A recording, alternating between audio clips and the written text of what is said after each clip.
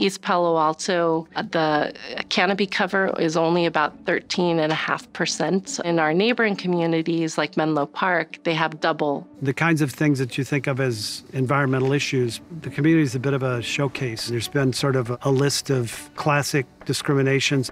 East Palo Alto residents are not afraid of change. People are really excited to actually speak up in the public process. We're like in the vanguard of doing whatever we can as a community to address displacement. Whatever is built here is going to stay here for decades and affect generations. I hope someday that my kids will speak up as citizens of their community the same way that we're trying to do here in East Palo Alto.